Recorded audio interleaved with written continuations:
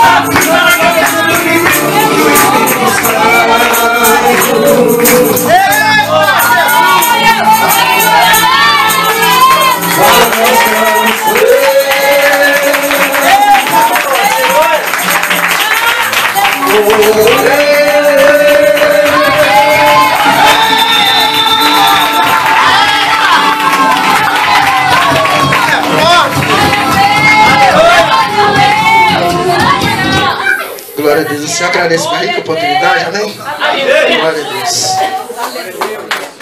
Glória a Deus.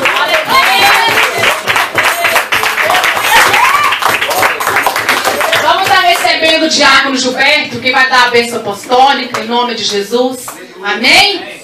Glória a Deus. Muito obrigada, meu, meu irmão pastor, né, por essa confiança, né? De me colocar hoje à frente aqui para estar ministrando, né? Porque para Deus nós temos que fazer o melhor. Eu fiquei assim, meu Deus, eu tremi a semana toda, que eu falei, meu Deus, mas eu, ah não, eu fiquei eu falando comigo mesmo, né? Eu falei, ah, mas se ele pôs é porque ele viu algo, né?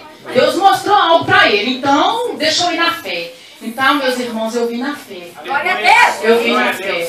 Tudo pela honra e glória do Glória a Senhor. Porque nós não fazemos nada. Quem faz é o Espírito Santo que habita em nossas vidas. Amém? Glória a Deus. Que Deus abençoe a vida de todos. Que nós vamos continuando rompendo em fé na caminhada. Amém? Que nós não venhamos desanimar. Que nós vamos vencer essa batalha. Amém? Glória a Deus. Que Deus abençoe a vida de todos em nome de Jesus. Aleluia. Glória a Deus. Cumprimenta a igreja com a paz do Senhor Jesus. Glória a Deus. Hoje não tem nem muito o que falar, né? A palavra já falou com cada um de nós. Aleluia.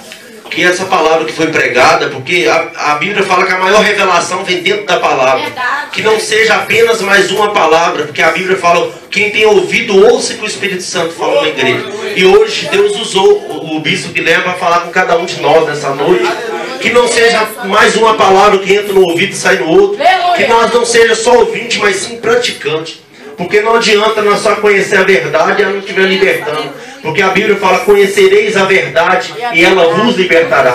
Se não está libertando, porque não conhece ainda. Então que nós possamos não só ser ouvinte, mas praticante da palavra do Senhor. Porque Deus tem promessa para cada um de uma forma diferente.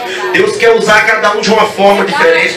Só que nós não temos que preocupar que Deus está usando irmão em línguas, porque a Bíblia fala que Deus, nós somos o corpo de Cristo e o corpo cada um tem uma função. Eu não sei qual é a tua função aqui hoje, mas Deus, se Deus te trouxe aqui é porque você viu algo diferente em você, porque Ele sentiu que você tinha que vir aqui para ouvir essa palavra, que essa palavra que nós ouvimos hoje, nós guardamos ela no nosso coração para que nós não pecamos contra o próprio Deus. Porque Deus, eu creio que falou com cada um de nós nessa noite, no nome de Jesus. Então estenda as tuas mãos nessa noite, que nem tem como falar muita coisa, que a, a palavra já falou tudo, né? Estenda as tuas mãos em forma de receber para nós ir embora.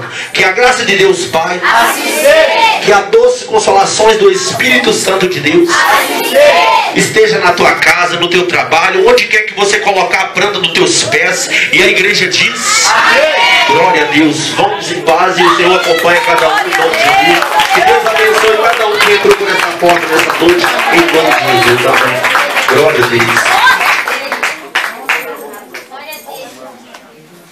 Para o pastor para fazer o apelo aqui. Se tiver alguém aí para aceitar Jesus, deixa por líder. Amém? Glória a Deus. Glória a Deus. Tem alguém nessa noite, gente, para aceitar Jesus, para unir o Ministério Efraim Brasil? Se a palavra falou com algum de vocês, se ela tocou, se tiver alguém, é só vir cá na frente que nós, o pastor vai estar orando pela tua vida em nome de Jesus. Se tiver alguém para aceitar Jesus, para unir o ministério, é só ficar na frente e não estar orando na sua vida. Se não tem ninguém o Senhor, tem uma outra oportunidade no nome de Jesus. Amém. Glória a Deus.